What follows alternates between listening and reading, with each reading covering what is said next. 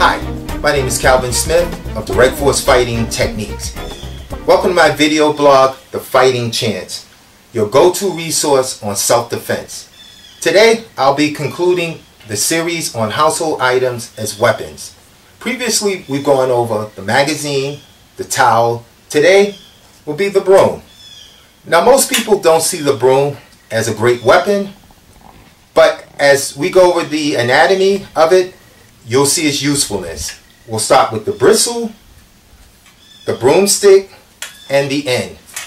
Now, the bristle, most people envision an old lady swatting at someone for defense.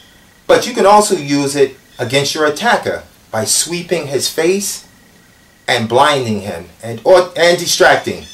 This way, it allows an opening if you feel confident enough to pursue it or flee the scene. Next is a broomstick. This can be used for choking, pinning, or restraining. Now I'll demonstrate. You have your attacker against the wall. You're applying pressure. Do not totally rely on the broom to do everything. Include headbutts and knees as well. Now, when you're away from the wall and you're engaging in a fight, remember to duck punches, also to keep moving and add kicks in there as well.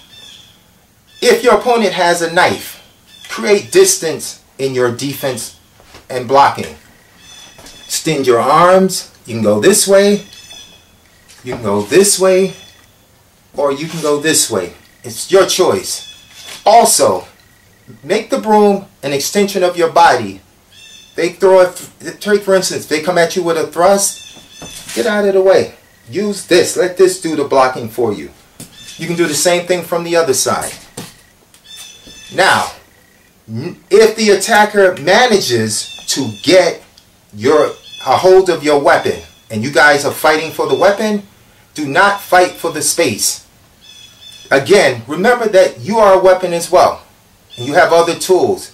Again, headbutts, stomping, spitting, biting, whatever you got to do to keep control of this weapon, do so. Now the end piece, great for jabbing or thrusting. Now the primary targets I like to hit when I'm thrusting is anywhere in the face or the solar flex. And the solar flex is a small area in between the chest and the stomach. Now in conclusion, we've covered the anatomy of the broom and its usefulness. The bristles, the broomstick, and the end. Come try a free class and you can become a weapon yourself and learn more. Contact me on my webpage at directforcefighting.com. You can also contact me on Facebook or YouTube. My name is Calvin Smith. Train hard, be safe.